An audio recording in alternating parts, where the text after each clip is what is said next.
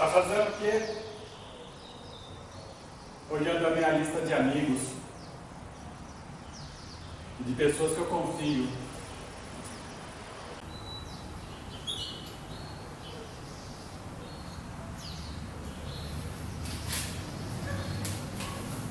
Hoje é assim. Você precisa de uma lupa para tentar encontrar. E uma pessoa que confia.